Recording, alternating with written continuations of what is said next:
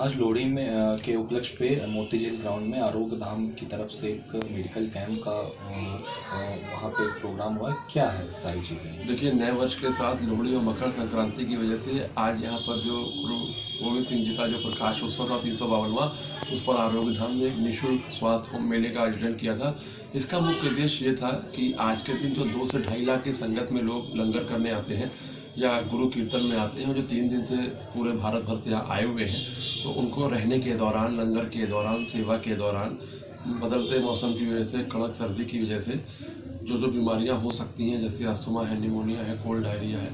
बहुत से बुज़ुर्गों में उच्च रक्तचाप के साथ डायबिटीज़, छोटे बच्चों में चिकन पॉक्स खसरा गल, सर्दी, जुकाम, खांसी, बढ़ते पोल्यूशन की वजह से जो जो कॉम्प्लिकेशंस गले में आ सकते हैं, उनकी रोकथाम के लिए बहुत लार्ज स्केल पर आरोग्य धाम की टीम ने निःशुल्क होम्योपैथी स्वास्थ्य कैंप लगाया यहाँ पर। उसमें डॉक्टर आरती मोहन डॉक्टर अभिषेक सिंह तमाम तमामों चिकित्सकों ने आए हुए कम से कम तीन हज़ार से अधिक मरीजों को निःशुल्क स्वास्थ्य परीक्षण कर निःशुल्क दवाएँ दी इसमें डायबिटीज़ की भी निःशुल्क जाँच हुई और उसके बाद जो भी वहाँ का पर्चा लेकर आएगा आरोग्य धाम की टीम उसको अच्छे से फॉलो करती रहेगी होम्योपैथिक चिकित्सा प्रणाली के द्वारा असाध्य एवं क्रोनिक रोगों को समूल नष्ट किया सकता है होम्योपैथिक कोई भी साइड इफ़ेक्ट नहीं करती।